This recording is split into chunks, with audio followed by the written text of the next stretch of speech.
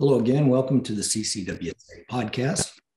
I'm Rob High in Oklahoma City, joined by my partner, Phillip Naman, out in California. How are you, Phil? Uh, I'm doing great, but actually, I'm in Prescott right now, where uh, my business is opening up a new office here. So this is the first day in the Prescott office, and we're still working out a few bugs uh, on the internet service here. So bear with us if all of a sudden I freeze frame for about an hour. Very nice.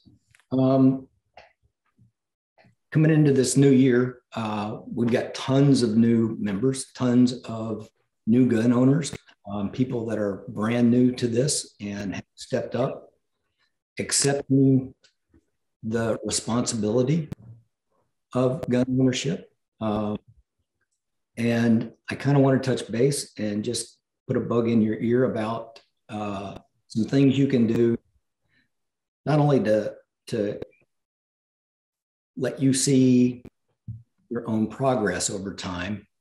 Um, but these are things that could come up and be beneficial to you in the event that you really did have to defend yourself in uh, a critical incident, in a lethal force self defense incident.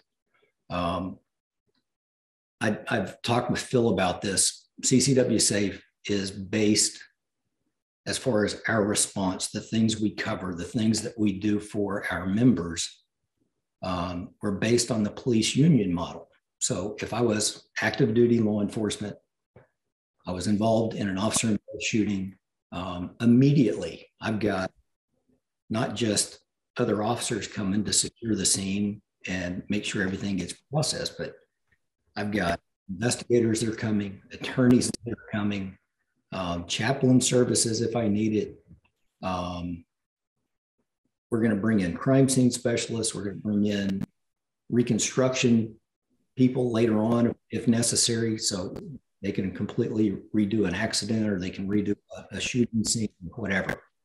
Um, and one of the things that I did when I was an officer was uh, would represent the department in the city in lawsuits against police officers. Um, most of those involved force or shootings. Um, the very first thing that I would do would go to work on capturing all the data on the training that you've received, the successful training that you've, you've done and completed to satisfaction and that kind of thing. Um, and I don't want to put it out there and go, you know, well, this guy shot 100%, that guy only shot 72%. for those reasons and for the, the little nitpicking things that can that can come up in a court of law, um, it's a pass or fail. Phil passed this course. Rob passed this course. Um, but for my own personal gee whiz folder, um, I know when I was a brand new officer, I was not real proficient with a handgun, not to my satisfaction.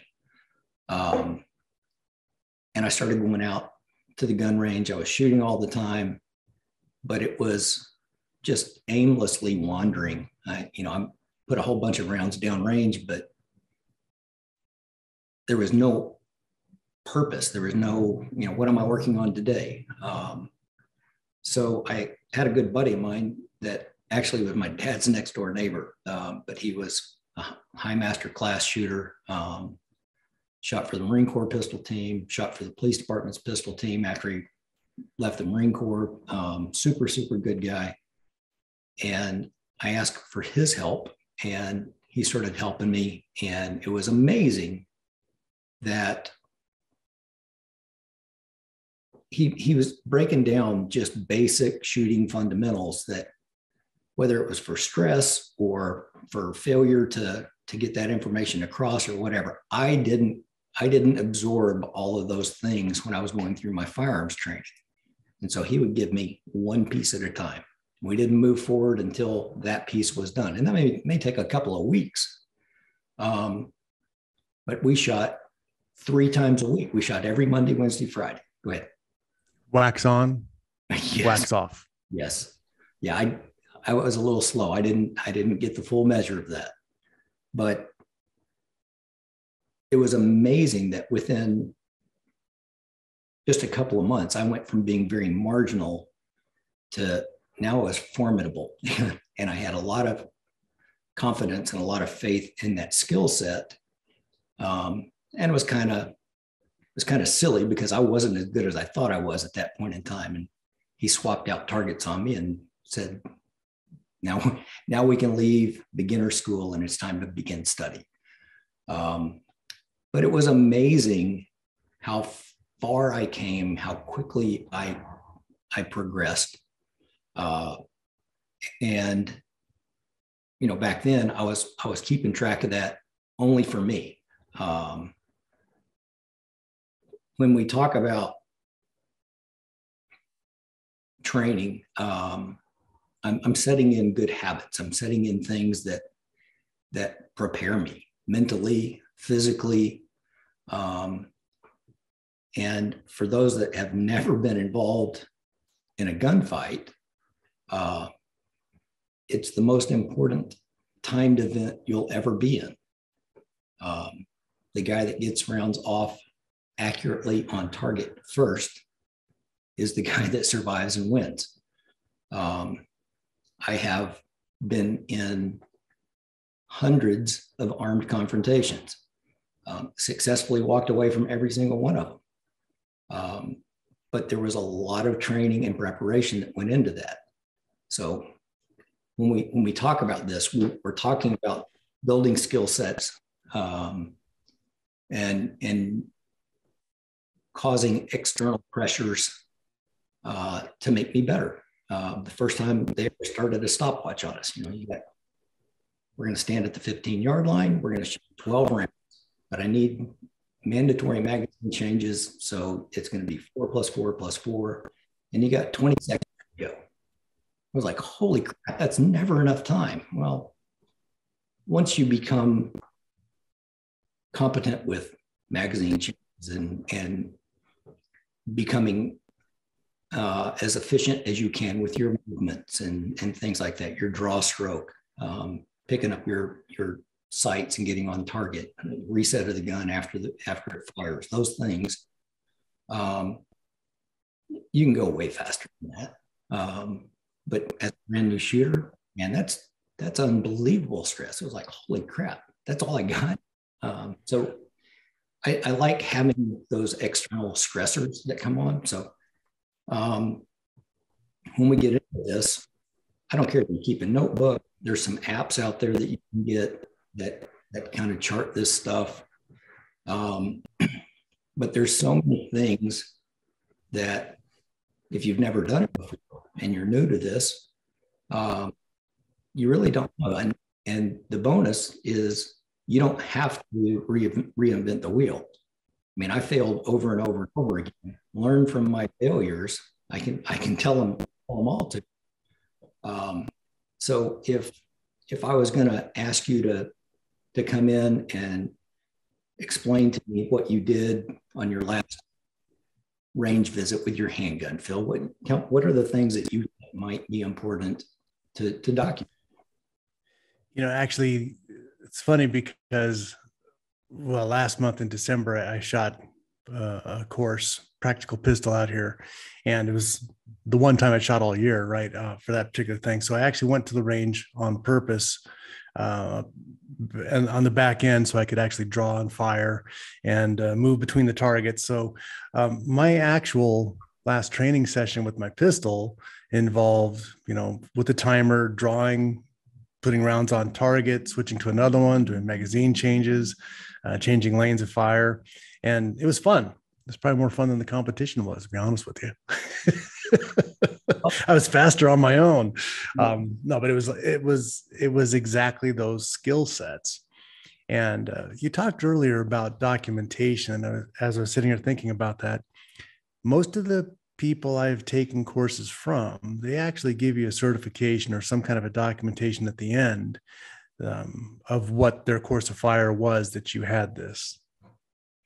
Absolutely. Um, and that's one of those things that I want. Um, if I go out tomorrow and I go out by myself, that's going to be something that's that's noted in, in my records. Um, I went on this day to the CCW Safe range, and I worked on basic pistol fundamentals. So I shot from, well, and I, I like I, I like having in where did I go? Was I alone? Did I have instruction? Um, when did I do it? Um, and then how many rounds did I did I go through? Because uh, I've, I've gone out and I've, I've had days that I just was not. I just wasn't dialed in, you know, for whatever reason, mm-hmm. it's just not going to happen that day. Instead of just going out and wasting a bunch of bullets, it was just like, yeah, I'm done. Uh, so, how many rounds did I did I shoot? Was I scoring them? Um, and and how did you do? Um, were you shooting from multiple distances? Were you shooting from multiple positions? Um, were you putting yourself under time constraints and, and what were those time constraints? Do you document the fact that, you know, through this course fire, I, I forced myself to, to make mandatory magazine changes or whatever it is like that. Um, so, you know, what is it that I'm working on? As a, as a concealed carrier, I have a mission. I mean, I my mission would be a little different from other people's mission because I've, I've had a high level of training. I've, I've been involved in a lot of these situations. Um, it wouldn't necessarily be the same thing for uh, my next door neighbor who's a concealed carrier. He's never been through all that training. He hadn't had the same experiences. Um, so his mission is a little different. So uh, we start out, everybody has learn basic shooting fundamentals. Um, but from that point, you need to start expanding and growing. And, you know, it's one thing, stand there stationary at the seven yard line and put rounds on paper with a target that's not moving, it's not going anywhere, it's not, it's not coming at me with with evil intentions. It's just a piece of paper. Um, and it's probably a green silhouette too. So yeah, terrifying, terrifying. Um, but you're, you're working on certain things, and once I've developed my basic shooting fundamentals, now I can get into things that that whether it's a move and shoot thing or a positional thing or uh, increasing your times or whatever, um, or diminishing your your target. Um, we, we don't ever really improve until we press ourselves and force ourselves to get better. Um, and that and that goes for all things in life. Um, well, you know, I think that's as I'm listening to and understanding more. Like when you first brought up this topic, I was I was trying to see how that would work all the way around, but the more you're you're explaining it um, from your mindset coming from the police department, where you had to document training, you had to say this officer is proficient in this, this, this, and this. Here's how he was kept up to speed on it. Um, it comes down to on the personal side, you know, if you go to the gym, here it is. We're in January. Everybody's now going to the gym if they're allowed to, or whatever. But um, if you just go to the gym, it's like shooting the paper at seven yards static with two boxes of ammo and your target ends up looking like a shotgun pattern because you weren't focused on anything. If you go to the gym and you've got your booklet that says i'm going to do this many sets of this exercise at this weight and you check that off and then you do the next one you do the next one you have a plan now you've been trained and now you have progress from going to the gym yeah, you might be a little sore the next morning, but you're you're doing the right thing and it's growing you the right direction. And to apply that to our shooting disciplines, I think you're making a great point, Rob, that you know maybe what I need to practice is I need to practice on presentation um, from concealed. You know, maybe I need to practice appendix draw. Uh, as I've explained to you guys before, I love to do that with an airsoft gun because that's the way I like to practice appendix draw. you know, or or an empty empty firearm. There's actually a magazine out there for Glocks. I have them for my 19, 17s, and 21s. It's called a double click. And so the gun's completely empty.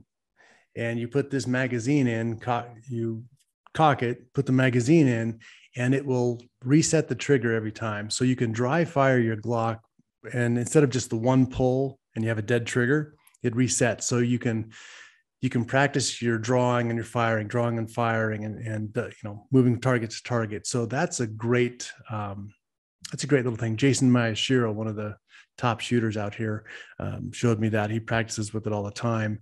So that's the double click magazine worked out really well. But again, it's a safe way with an empty firearm to practice these things because what from what I've seen, I haven't seen any accidents up close and personal. Thank God. I don't want to. What I've seen on some of the videos, people have their accidents drawing the weapon and they have their accidents reholstering the weapon. Unless they drop it in between, that's usually the only thing that happens is as they're drawing, they hit the trigger, or as they're putting it back in, they're not clear. So if you're doing that with uh, an inert weapon, but still getting your reps in, so to speak, I think that would be a great idea. Well, and you know, you touched on a point I wasn't even thinking of, but uh, I, I, I need to begin this documentation. Was this a live fire exercise? Was this a dry fire exercise? Um, because I don't, you know, I don't have unlimited resources, unlimited funds, unlimited ammunition. You know, money, money is an object, um, and it, it is for all of us. And ammunition is absolutely at a premium now. Um, so I can I can continue to work my skill set. And there's all kinds of things out there. I mean, you can you can buy the little laser thing that you can feed into your your firearm. You can do you know digital training uh, in the house, um, and it's one of those that every single time we go back to firearm safety things. Every single gun is gun, and I, I make sure everything gets gets properly cleared and, and handled that way. Uh, but you know, even beyond, I'm not I'm not practicing by myself today. You were talking about uh, some of the instruction you get and the certificates you get from these instructors. Um, that's that's another one of the things. Who who is this guy? What are his credentials? Um, where did the training take place? What was the training? Um, did I have to hit a certain measure to, to satisfy the performance objectives of that course? Um, things like that. Um, and then once you've developed a little bit of a skill set, um, we step forward and go, okay, I can I can make the little hanging down thing come back and forth and I can make it go bang and, and all that stuff. Um, I like the way you instinctively turned your hand sideways. That was good. Absolutely. I, I rode game. Lots of practice. I, I rode in the game I know how to do that. Um, that's funny. Uh, but once you've once you've got that baseline and you're and you're and, and it never goes away. It's something you need to continue to work on. So, like Phil was talking about, I go with airsoft and do some dry fire exercises in the house or or airsoft, you know, firing practice or, or whatever, um, or the the magazine reset for the Glock, so I, I don't have to keep resetting every single time I, I press the trigger. Um, but once you've developed a little bit of that skill set, now it's time to start to kind of increase that pressure. I want to, I want to, I want to make myself adapt and become better than I am. So that can be all kinds of stuff. And and you know, do I do I go out to the range outside? Is an indoor range? Um, most of the stuff I did was was an outdoor range. That's what the police department had. That's where I, have got thousands of hours on that range. Um, was it was it windy conditions? Was it bitter cold? Was was it extremely hot? I've, I've been on the fire line out there when it was 115.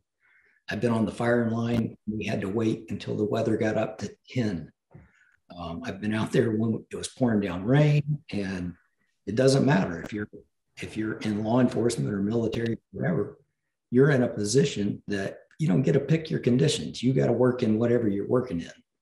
So those are things to, to document that, that yes, I've, I've done these things um, as a concealed carrier. Um, it's one thing to, to go, hey, I'm going going to the indoor gun range today and I've got on a pair of shorts and a t-shirt and there's nothing to really to defeat to to come from concealment, but um, have you shot with a winter coat on? Have you shot with gloves on? All of those things are, are factors that have completely changed what you thought your skill set was. Um, am I shooting stationary? am am I moving and shooting? Um, do you do low light training? Um, there's there's all kinds of these things that you need to need to factor in. Um, I've I've had the fortune to be in a position to go. I've I've shot through a hollow core door. I've shot through sheetrock. I've shot through a car. I've shot in and out of a car window. And to understand what those things can can change uh, on the performance of your firearm. Um, it, it's it's not something that everybody gets the opportunity to do. I understand that, but the things that we do with that, even if it's moving and shooting, shooting off the X or whatever I'm doing, um, I, I, like guys moving forward or backwards or laterally or however, but um, armed confrontations do not take place in static positions.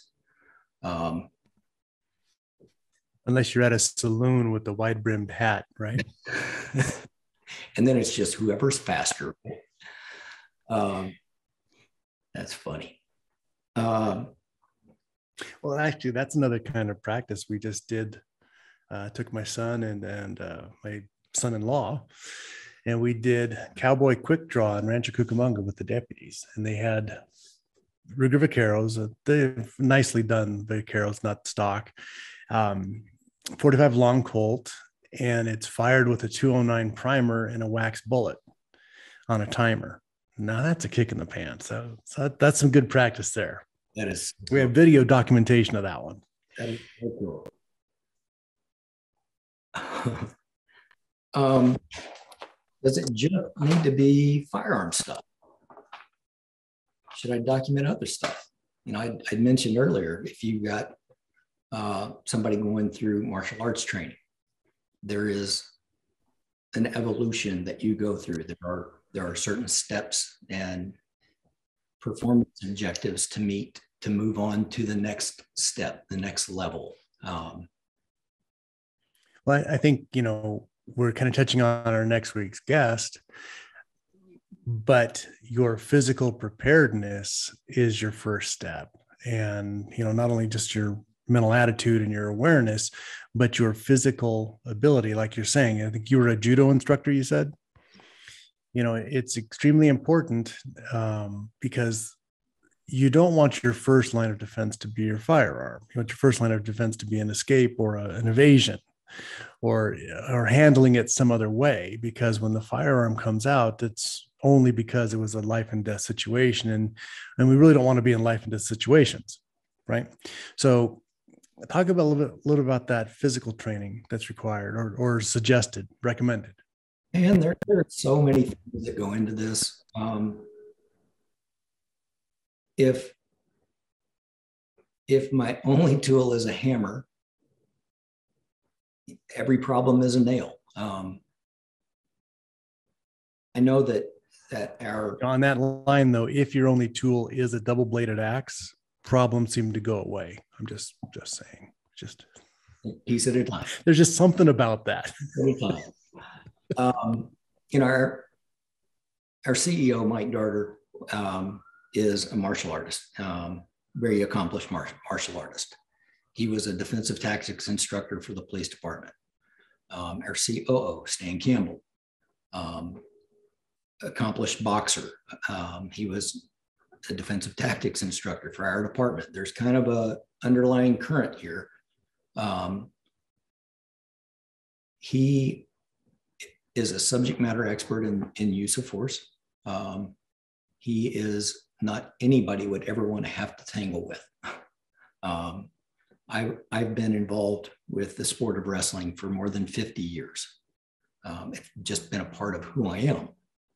Um, and it's not, you know, I've, I've done what Americans do. It's called folk style, um, but I've done international wrestling. I've done both freestyle and judo, or freestyle and Greco. But I also become a uh, practitioner and teacher of judo. Um, the the confidence and the abilities that you develop, even if it was nothing more than just getting in the gym and working out a little bit, or getting on a bicycle and right, just increasing your physical capabilities. Um, you you tend to develop ways to to kind of control your breathing, um, control your heart rate, um, respond with more clarity to to intense situations. Um, that's that's a bigger deal than people realize. Um, if you know, we we've all heard the little sayings. You know, if if you if you fail to train, you've actually trained to fail. Um, or you know what? I'm gonna I'm gonna mess this one up, but uh, you know, we we fall to our our level of preparation. You know, you don't think that something bad's going to happen at the mall and there's an active shooter and suddenly I'm going to be the hero. It doesn't work like that. Um, matter of fact, for most of us, the safest thing we can do is get out. Um, you know, run, run, hide, fight kind of stuff. Uh, but it, it, it's one of those things that I wouldn't want that to come out if if I was involved and I had to resort to lethal force and suddenly they they come in and go, why did you do this? Well, this option wouldn't work. I've, I've done all of these things and, and these, I didn't have any other options left. Um, that, that was something I always felt like was kind of easy to explain to a new cadet in the police academy was, you know, oh my gosh, when do you, when, when do you shoot? When you don't have any other options left. But the more tools I have available at my disposal, the more options I have. Um, obviously there's going to be times that somebody is actively involved in in causing great danger uh, active shooter or something like that um, and that has to be dealt with rapidly and with with great violence really um, but that's not that's not what I'm, I'm, looking for that's not what my purpose is um, do you do you train with less lethal stuff? I, I don't know. Do you carry OC? Do you have anything else like that in your in your personal stuff? I mean, and I'm and I'm asking. I don't, I don't know. Do you, do you carry OC? Do you do anything else? OC, are you talking about pepper spray? Is that what you're saying? OC? Mace. Yeah. Um, no, I, I, don't. I know my my wife and my daughter do. Um, I I've gotten into martial arts, so that's uh, since I had my knee surgery, I can't outrun anybody anymore. So I've had to build up my ground game. I understand that more more than you realize. I understand that. So, um, no, something else that that we bring up. Um, and we've got somebody that's going to start producing content for us here real soon um, that I can't wait to get out there to our members. Um, but do you do any first aid training?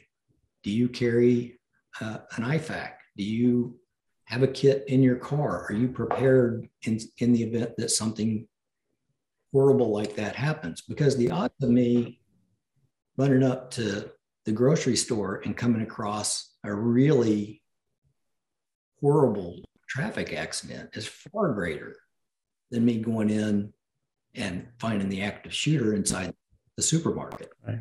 So, You know, actually, uh, through the radio station, uh, Firing Line Radio, we actually sponsored uh, some lessons. So we have kits in each car, kit in the garage. Why? Because I handle firearms in and out of the safe there.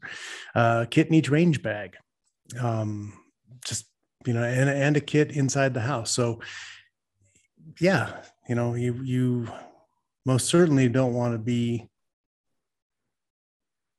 you don't want to have the opportunity to help and fail because you failed to plan you know you're there you have the training you're you're there in a position for a reason and then you can't perform i think that would be worse psychologically for you forever just dealing with that.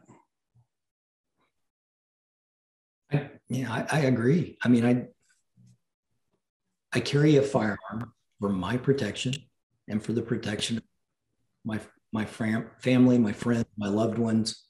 Um, am I am I prepared to step in if something happens to them that I'm not able to respond in a lethal manner or a forceful manner? Instead, now I have to respond with life-saving techniques. And am I prepared for that? Um, That's saving a life. It's well, saving a life. You know, law enforcement, people don't realize this. I've, I've watched this. I, I couldn't begin to count how many times there's been an officer involved shooting, and that officer is the one that's immediately rushing up. As soon the threat stopped, and they immediately begin first aid attempts. They start trying to do whatever they can to save mm-hmm. that life. Um, mm-hmm. that, that's not their, you know, my, my goal is never to, you know, shoot to kill. No, I just, just make the threat stop. As soon as the threat stops, so do I. Um, so it's, it's those kind of things. But it's one of those that I, I would think it's really important. You know, again, I, I say we were based on the police union model. Um, the things that come into play for our members. Um, most of our people. So you're you're saying document. How? What do you suggest? like a three by five spiral notebook that goes in your range bag? You know, what what are some practical things? You're talking about an app. I mean, that's exactly how I do mine. Um, is is it's just a spiral notebook. When I when I get back from the range and I'm throwing throwing all my stuff in the in the safe, it goes in the safe. Um, and it's and it's documenting all those little things I was talking about. What what have we done to increase the pressure? What have we done that has turned this up and and made me perform under pressure because if you think a shooting a, a real life shooting is not under pressure. You have no idea what's fixing to come your way. Um, right. we, we we we were the the the chief sponsor for uh, concealedcarry.com and their guardian nation conference this last year. And I had the good fortune to just move around all over the compound. And it was held at Oklahoma City Gun Club. It's a huge, like one mile by one mile range facility. Um, and we had all kinds of instructors, you know, like 10 or 12 instructors going all the time. Uh, but I got to move around and go from person to person to person to person and kind of pick and choose and steal nuggets of wisdom from all of these guys. Uh, and one of the guys, uh, Matthew Little, uh, he's a special forces operator. He's a retired uh, Chicago police officer, uh, was a SWAT team member and trainer and all kinds of stuff. Super, super good, high level shooter. But just because somebody's a high level shooter does not make them a high level instructor. Um, so I, I like to get in on the non-shooting part. I want to hear what they say. And he, he gave a, little thing out there for, for his folks that I just thought was just so invaluable. And he was talking about you're doing all this preparation, all this training, all these things for this possible worst incident that could ever happen in your life.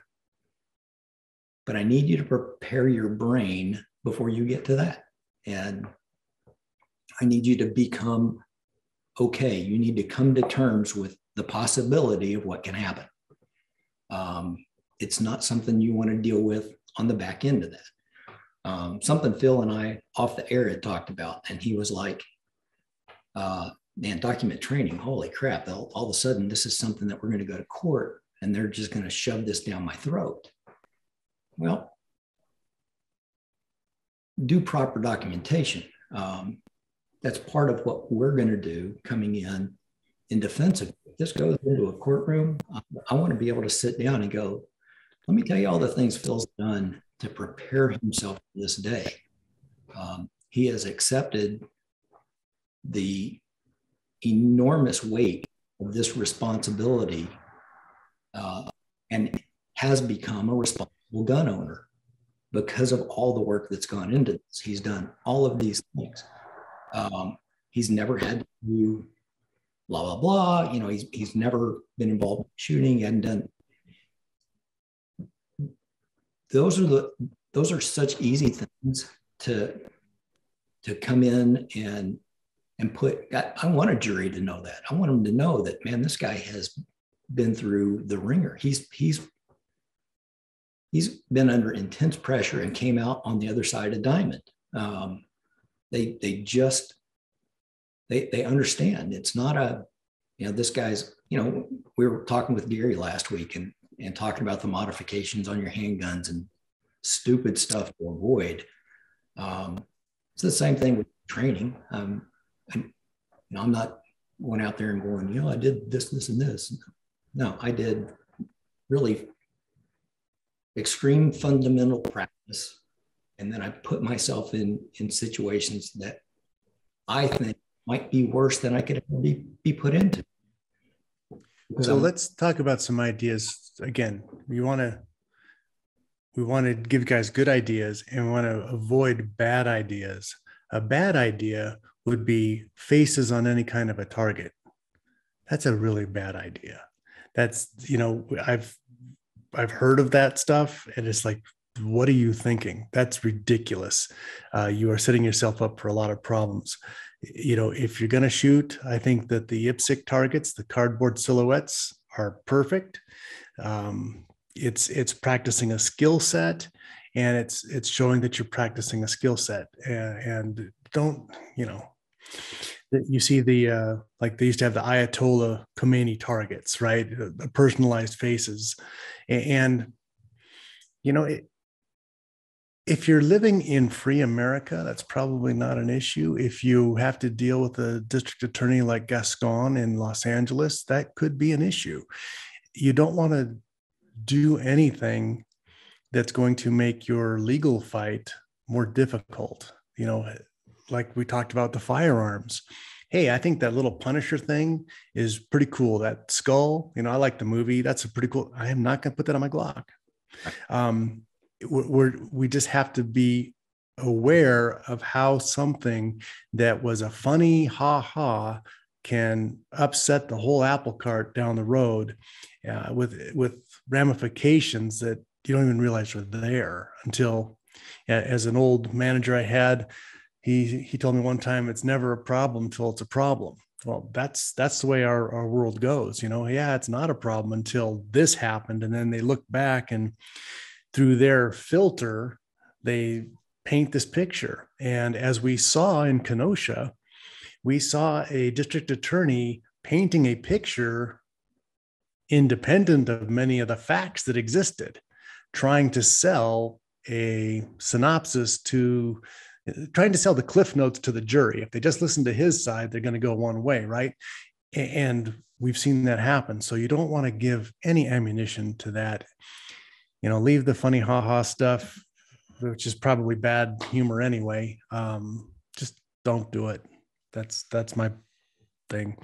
You know, zombies on just stick with bullseyes, stick with IPSC silhouettes, stick with uh, black silhouettes, the regular standard targets. You know, do, just do your shooting to do your shooting. I agree wholeheartedly. Um, it's it's one of those that I, I want to be prepared. I don't want to be fanatical. I don't want to be right. you don't want to give the appearance. You don't want to give them an opportunity to say you're fanatical. Correct. Uh, the another another little add-on for that. Um, and I'm going to touch I'm going to touch some spots with people. Um, but but monitor your own personal social media stuff. Um, and there's there's some stuff out there that's really funny. It's unless that's something that gets dragged up because you've been involved in a shooting. That's that's the worst thing in the world that could ever happen. Um, I I worked uh, and and testified against a police officer that had been involved in a shooting. Um, he was found guilty. He was he was he was way outside the color of law. He he just stepped over a line. Um, but I also watched what they did with his social media stuff, and it just was just it was embarrassing. It was like, what were you thinking? Uh, you know, it's one thing to that you saw something and like funny, haha, but it's another thing that you just broadcast and just blast stuff out to the world. And I'm telling you, as an investigator, one of the very first things I would start into is I'm going to get in there and deep dive and, and go through your social media stuff. Is this something that that you know all of a sudden you're this Nazi worship guy and and you know way way out in the weeds on your own on on some of your thoughts. Um, and you know fortunately as an investigator a lot of guys that are like that do those things. So they they kind of make it easy for you